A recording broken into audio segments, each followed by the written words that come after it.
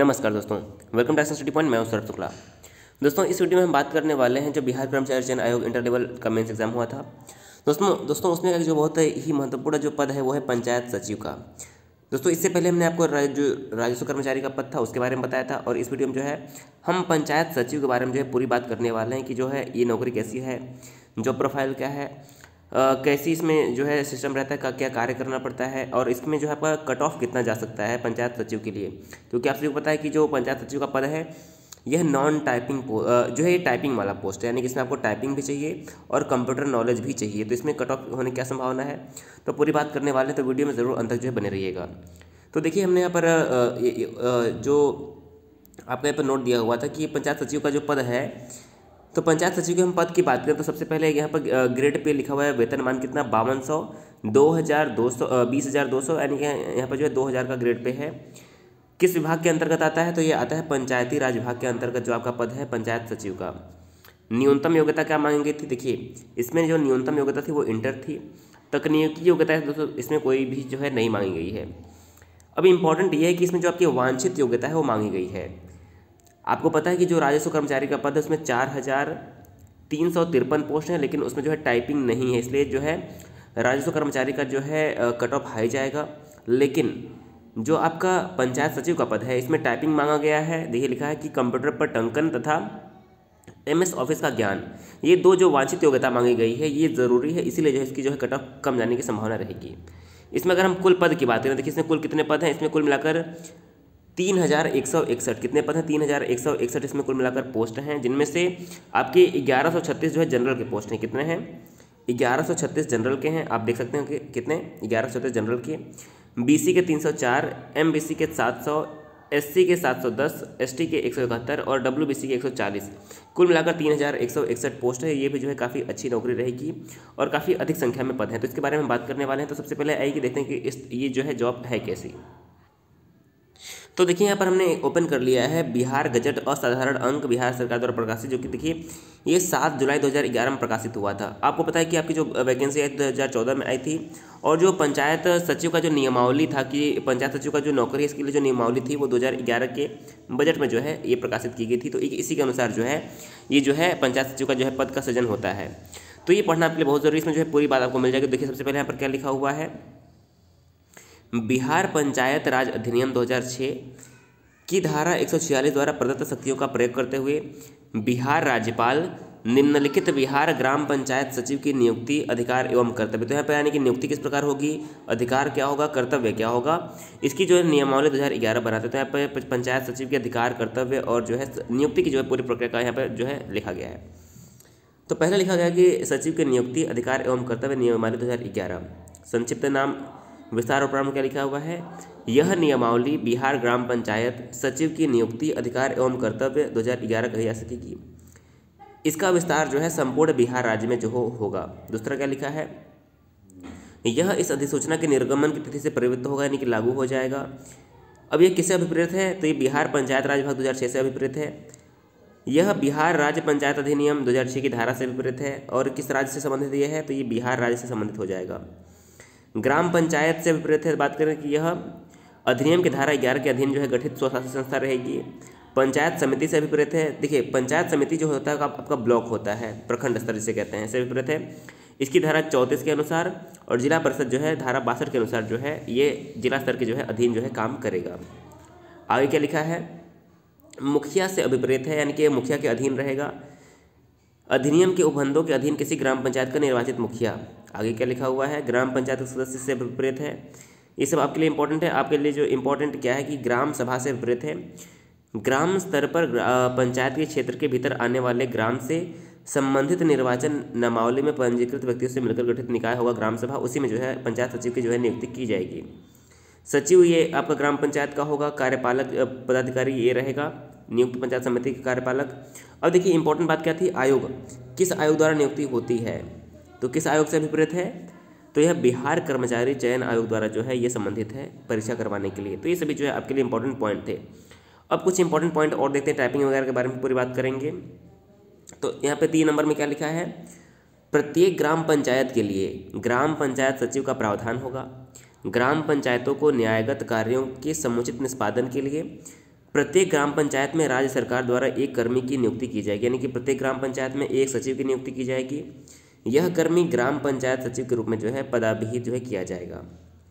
अब तक नियुक्त सभी पंचायत सेवकों की नियुक्ति किसी ग्राम पंचायत के सचिव के रूप में की जाएगी। यानी दो हज़ार ग्यारह में जब ये नियमावली आई थी, उससे पहले भी जितने पंचायत सेवक रहे होंगे, उन्हें जो है ग्राम पंचायत सचिव की जो है तरह जो है बहाल किया जाएगा। आगे क्या लिखा हुआ है? ग्राम पंचायत सचिव के शेष रिक्त पदों पर नियमावली के प्रावधानों के अधीन नियुक्ति की जा सकेगी, परंतु नियुक्ति होने तक नियम तीन के उपनियम चार एवं पाँच के अधीन प्रावधानों के अनुसार रिक्त पदों को जो है भरने की कार्यवाही की जाएगी। अब देखिए इसमें आपका इम्पोर्टेंट जो पद है वो क्या हो जाएगा। अब यहाँ पर हम बात करते हैं कि देखिए, ग्राम पंचायत के पद पर नियुक्ति कैसे होगी तो ग्राम पंचायत सचिव के पद पर जो है शत प्रतिशत सीधी ही भर्ती नियुक्ति की जाएगी। प्रत्येक वर्ष पहली अप्रैल तक रिक्तियों के आकलन करने के पश्चात ही वास्तविक एवं संभावित रिक्तियों के अनुसार रोस्टर, पंजी, क्लियर कराकर आरक्षण, कोटिवार या अध्याचन आयोग को जो है जिला अधिकारी द्वारा जो है भेजा जाएगा। अब देखिए यहाँ पर योग्यता की बात करें। इस पॉइंट को जो है दोस्तों आपको बहुत ध्यान से सुनना है और सबसे महत्वपूर्ण जो है आपके लिए यही पॉइंट रहेगा। तो क्या लिखा है? ग्राम पंचायत सचिव के पद पर नियुक्ति हेतु जिला पदाधिकारी, सक्षम प्राधिकारी होंगे, प्राधिकार होंगे। इनका संवर्ग जिला स्तरीय होगा। इस पद पर सीधी नियुक्ति एवं विविध अर्हता निम्नलिखित होगी। तो अर्हता क्या होनी चाहिए? पहले क्या है? यानी कि योग्यता क्या होनी चाहिए?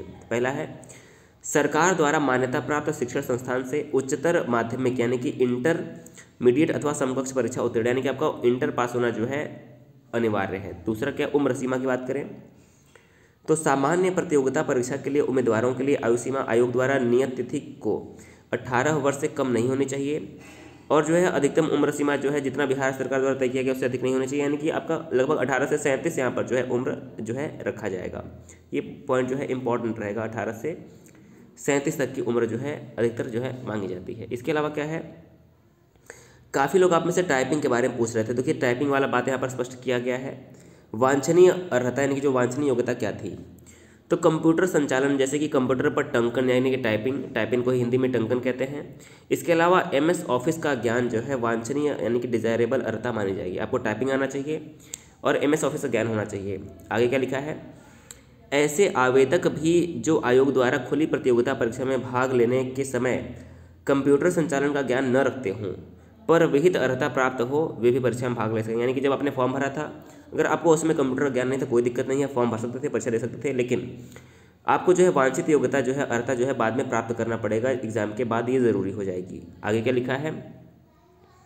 परंतु नियम पाँच के अधीन विहित परिवीक्षा अवधि के दौरान, यानी जो प्रोबेशन पीरियड होगा, के दौरान सामान्य प्रशासन विभाग की अधिसूचना संख्या सोलह सौ नौ, दिनांक चौबीस मई दो हज़ार ग्यारह द्वारा नियत वांछनीय अर्हता प्राप्त करनी होगी, यानी कि आपकी जो वांछनीय अर्हता है टाइपिंग और एमएस ऑफ़िस ये दोनों आपको प्राप्त करना ज़रूरी होगा। अन्यथा, उनकी सेवाएँ संपुष्ट नहीं की जाएँगी और सेवाएँ समाप्त कर दी जाएँगी। यानी टाइपिंग और एमएस ऑफ़िस का ज्ञान बहुत ज़रूरी है, नहीं तो जो है आपको बाद में परेशानी हो सकती है। आगे क्या लिखा है? अब देखिए, आपके लिए महत्वपूर्ण क्या है? जैसे कि दलपति जो होंगे, उन्हें अपेक्षित अर्हता धारित करते हो, परंतु उम्र सीमा समाप्त होने की वजह से जो है, इनके लिए जो है उम्र में कुछ छूट दे दी जाएगी इसमें कुछ खास नहीं है। अब इम्पोर्टेंट क्या है? परिवीक्षा की अवधि जो होगी। तो क्या है? सक्षम नियुक्ति प्राधिकार द्वारा नियम पाँच, चार पाँच, चार छः के अधीन प्रावधानों के अनुसार आयोग द्वारा अनुशंसित उम्मीदवारों को ग्राम पंचायत सचिव के पद पर परिवीक्षा पर दो वर्षों की अवधि के लिए जो है नियुक्त किया जाएगा। इन दो वर्षों की परीक्षा अवधि में परिवीक्षा पर नियुक्त व्यक्ति को नियम छः के अधीन विभाग द्वारा बनाई गई। अधिसूचना के अधीन तथा विहित प्रशिक्षण कार्यक्रम पूरा करने के बाद उससे संबंधित जो है विभागीय परीक्षा में उत्तीर्ण होना होगा। अगर आप तीर्ण नहीं होते हैं तो जो है आपको सेवा समाप्त कर दी जाएगी। कोई विशेष कारण होता है तो आपका जो है परिवीक्षा अवधि एक वर्ष जो है बढ़ा दिया जाएगा। विशेष कारण आपको बताना पड़ेगा तो परिवीक्षा की अवधि जो है एक वर्ष बढ़ा दी जाएगी, नहीं तो जो है आपकी सेवा समाप्त कर दी जाएगी। यहाँ पर जो है जो है स्पष्ट रूप से लिखा हुआ है। कोई दिक्कत होती है अगर आपको तो आपको रीजनेबल ऑर्डर यानी कि एक सही कारण बताना होगा लिखा नहीं कि प्राधिकार उन कारणों को और अपने समाधान के आधार को सर सकारण आदेश के रूप में अभिलिखित करते हुए परीक्षा पर नियुक्त व्यक्ति की परीक्षा अवधि एक वर्ष अतिरिक्त अवधि के लिए बढ़ा देगा। यानी कि अगर आपको लगता है, उसको लगता है कि आपने किसी सही कारण के लिए जो है बढ़ाई है तो आपको बढ़ा दिया जाए एक वर्ष का समय। जो आपका ग्राम पंचायत सचिव के पद पर परीक्षा पर नियुक्त व्यक्ति को इस नियम के अधीन विभाग द्वारा बनाई गई नियमावली द्वारा विहित प्रशिक्षण कार्यक्रम पूरा, करना होगा। उक्त विनियमावली द्वारा विहित विभागीय परीक्षा में उत्तीर्ण होना होगा। ये सभी जो है, आपके लिए योग्यता रहेगा। इसके अलावा आपका क्या होगा कि जो पंचायत सचिव होता है वो ग्राम मुखिया के अधीन कार्य करता है, यहाँ पर स्पष्ट रूप से यहाँ पर लिखा हुआ है। इसके अलावा इम्पोर्टेंट इसमें पॉइंट क्या है? देखिए, एक पॉइंट लिखा है कि पंचायत सचिव के एक से अधिक ग्राम पंचायतों का प्रभारी होने के मामले में प्रखंड विकास पदाधिकारी जो है, ये इंपॉर्टेंट पॉइंट नहीं है। आप वैसे पढ़ सकते हैं, चाहे तो स्क्रीनशॉट लेके। तो इंपॉर्टेंट पॉइंट हम देख ले रहे हैं। देखिए जो सचिव होता है वो ग्राम पंचायत के आदेश तत्परता से निष्पादित करेगा नियमित रूप से और समय पर ग्राम पंचायत की बैठकों में उपस्थित रहेगा। उसी कार्यवाही को सही से अभिलेखित करेगा तथा ग्राम पंचायतों की संचिकाओं, अभिलेखों और पंजियों का जो है अभिरक्षक जो है होगा। वह ग्राम पंचायत की जो निमित्त धन प्राप्त करेगा, उसे जो है समय पर जो है जमा करेगा। ये सभी बातें यहाँ पर लिखी हुई हैं। यहाँ पर आप देख सकते हैं, पढ़ सकते हैं स्क्रीन शॉट ले लीजिएगा कि जो इंपॉर्टेंस की जो शर्तें हैं, यानी कि क्या क्या कार्य करना पड़ता है उसको। तो वैसे इसमें कोई खास बात नहीं लिखा हुआ है। इसमें आपको कोई भी ध्यान देने की कोई खास ज़रूरत नहीं है। तो इतनी बातें जो है दोस्तों यहाँ पर आपके लिए लिखी हुई हैं। चलिए एक दो पॉइंट और पढ़ लेते हैं ताकि जो है आपका क्लियर हो जाएगी कि, कि ग्राम सचिव को जो है कार्य क्या करना पड़ता है। तो पहला देखिए क्या लिखा हुआ है।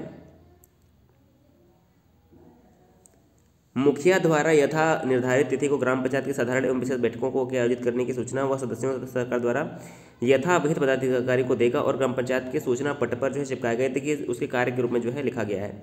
वह ग्राम पंचायत की स्थायी समितियों के गठन और उसकी बैठकों के आयोजन में मुखिया को सहयोग करेगा तथा स्थायी समिति की बैठकों की कार्यवाही जो है अभिलेखित जो है करेगा। तो ये सभी जो है उसके कार्य के अंतर्गत जो है आ जाएँगे कि उसका कार्य जो है क्या होता है। वह ग्राम पंचायत द्वारा उद्ग्रहित किए जाने वाले करों फ़ीस टैक्स को की जो है मांग तैयार करेगा तथा उनकी वसूली करेगा एवं उससे पंचायत निधि में जो है जमा करेगा। तो ये सभी जो है कार्य में हो जाएँगे। तो आपका वांछित योग्यता यहाँ से क्लियर हो गया होगा। तो ये बात जो है आपको वांछित योग्यता जो है, ये बात जो है आप ज़रूर याद रखिएगा। आपको टाइपिंग जो है करना पड़ेगा और एम एस ऑफ़िस ज्ञान होना चाहिए। अभी टाइपिंग के बारे में भी जो हम विस्तार से बात करने वाले हैं। किस फॉन्ट वगैरह पर आपको जो है टाइपिंग तैयारी करनी चाहिए। तो देखिए भी आपको पता होगा कि कुछ दिन पहले बिहार कर्मचारी चयन आयोग में जो आँसू लिपि का पद था, उसके लिए दोस्तों जो है एक टाइपिंग के लिए नोटिस जारी किया गया था। तो देखिए, ये भी परीक्षा जो है बिहार कर्मचारी चयन आयोग ही करवाता है और आपका जो इंटर लेवल मेंस एग्ज़ाम है, वो भी बिहार कर्मचारी चयन आयोग के द्वारा करवाया गया है। तो टाइपिंग के दोस्तों जो है, आपको यहाँ से आइडिया मिल सकता है कि टाइपिंग किस प्रकार से होगा। तो देखिए, अंग्रेज़ी की टाइपिंग करें तो आपको इंग्लिश टाइपिंग तो आसान होता है, कोई भी जो है दोस्तों अंग्रेज़ी की टाइपिंग कर सकता है। स्पीड वगैरह दोस्तों, अभी उसमें नहीं लिखा गया कि आपकी स्पीड कितनी होनी चाहिए, लेकिन अगर हम आँसू, जो आपका आँसू लिपि का जो दोस्तों जो पद था, उसमें अगर हम टाइपिंग की बात करें, इसके अनुसार देखें तो देखिए यहाँ पर हिंदी टाइपिंग में जो दोस्तों है, हिंदी में तीस शब्द प्रति मिनट के हिसाब से जो कुल तीन सौ शब्द जो है लिखने की यहाँ पर बात हुई थी। दस मिनट का समय आपको दिया जाना था। तो आपको जो है, हिंदी में तीस वर्ड पर मिनट जो है ये मांगा गया था किसमें? आँसू लिपिक के पद के लिए। तो ये आप आइडिया लगा सकते हैं कि इसी प्रकार से जो है आपका हो सकता है लेकिन आपके B S S inter level mains में कोई भी ये लिमिट नहीं लिखा गया कि आपको तीस वर्ड पर मिनट टाइपिंग करना पड़ेगा। ये दोस्तों जो है, बाद में जब आपकी टाइपिंग की नोटिस आएगी, तभी जो इसकी जानकारी स्पष्ट हो पाएगी। अब देखिए, आगे लिखा है कि टंकन परीक्षा मात्र कंप्यूटर पर ली जाएगी, जो कि आयोग के द्वारा परीक्षा केंद्र पर उपलब्ध कराया जाएगा। हिंदी टंकन के लिए कृति देव टेन फॉन्ट का प्रयोग किया जाएगा। तो आप जो है, अगर आपको हिंदी में टाइपिंग आपने टिक किया है तो आप कृति देव टेन पर ही टाइपिंग करिए तो ज़्यादा अच्छा होगा, क्योंकि बी एस जो है कृति देव पर ही जो है टाइपिंग करवा सकती है। इसके अलावा श्रुति लेखन, देखिए कि टंकन की शुद्धि टंकन है तो निर्धारित समय के अंदर करनी होगी। देखिए, श्रुति लेख तो आपका स्टेनो हो जाएगा तो श्रुति लेख अलग चीज़ हो जाए, ये आपको ध्यान रखना है। तो श्रुति लेख अलग हो गया, आपका टाइपिंग के लिए हिंदी फॉन्ट पर आप कीजिए, आपको कोई दिक्कत नहीं होगा। तो इस, इतना ही आपको ध्यान रखना है। आप हिंदी में जो है, कृतिदेव टेन पर करिए, अंग्रेज़ी की स्पीड बढ़ाने के लिए जो है, आप लगातार प्रैक्टिस करते रहिए। अब दोस्तों हम बात करते हैं कि आपका जो पंचायत सचिव का पद है, इसके लिए कट ऑफ़ क्या रहने की उम्मीद है? क्योंकि आपको पता है कि ये टाइपिंग वाला पोस्ट है और इसमें जो है आपको कंप्यूटर ज्ञान भी होना चाहिए तो इसमें जो है आपकी कट ऑफ़ निश्चित तौर पर कम जाएगी। तो देखिए, हम बात करें जनरल की इसमें कट ऑफ़ कितनी जा सकती है।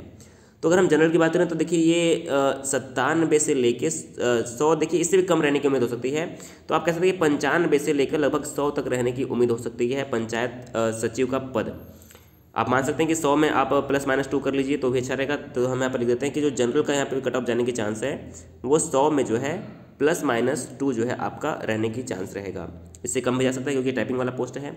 अगर हम बीसी की बात करें तो बीसी में आपका जो है छियानवे से अट्ठानवे रहने की उम्मीद है, छियानवे से अट्ठानवे रहने की उम्मीद है। ई e की बात करें अगर हम तो ई e में जो है आपका चौरानवे से सत्तानवे तक रहने की उम्मीद है। ईबीसी में चौरानवे से सत्तानवे तक रहने की उम्मीद है। इसके अलावा हम बात करें कि एससी में कितनी रहने की उम्मीद है? तो एससी में जो है अट्ठासी से नब्बे रहने की उम्मीद है और इसके अलावा जो बात करें अगर एसटी की तो एसटी में जो है नवासी से लेकर जो है बानवे तक रहने की उम्मीद है। और पीएच की बात करें फिजिकली हैंडीकैप्ड की तो अट्ठासी से लेकर नब्बे तक जो है इसमें रहने की उम्मीद है। तो अगर हम स्पष्ट रूप से कहें अगर आप पंचानवे से अगर ऊपर हैं जनरल में तो आप जो है मान सकते हैं कि आपका जो है टाइपिंग के लिए जो है निश्चित तौर पर जो है आपको बुलाया जा सकता है। अगर आप पंचानवे के आसपास पाँच प्लस माइनस में हैं तो यहाँ पर आप देख लीजिए पंचानवे के अगर आप प्लस पाँच या फिर माइनस पाँच में हैं तो आप निश्चित तौर पर जो है टाइपिंग की तैयारी करिए। आपको जो है निश्चित तौर पर जो है टाइपिंग के लिए बुलाया जाएगा। इसके अलावा भी अगर आपको कोई मन में प्रश्न बनता है या फिर कोई बात कहनी है तो कमेंट करके ज़रूर बताइएगा। हम प्रयास करेंगे कि जो है आपका सवाल का जवाब ज़रूर दिया जाए। दोस्तों, जब तक आपकी सिलेक्शन जब तक आपकी नौकरी नहीं लग जाती, जब तक आपके हाथ में आपका ज्वाइनिंग लेटर नहीं आ जाता है, तब तक हम प्रयास करते रहेंगे कि आपको जो है, आपकी परीक्षा से संबंधित जो है सारी जानकारी देते रहें टाइपिंग से संबंधित जानकारी देते रहें। दोस्तों, वीडियो को ज़रूर शेयर करिएगा। और दोस्तों, आपसे एक बात और कहनी है कि आप लोग लगातार हमसे जुड़े हुए हैं, इसके लिए दोस्तों, आप सभी का बहुत बहुत धन्यवाद। और हम भी प्रयास करेंगे कि आपसे जो है लगातार जुड़े रहें। वीडियो देखने के लिए बहुत बहुत धन्यवाद।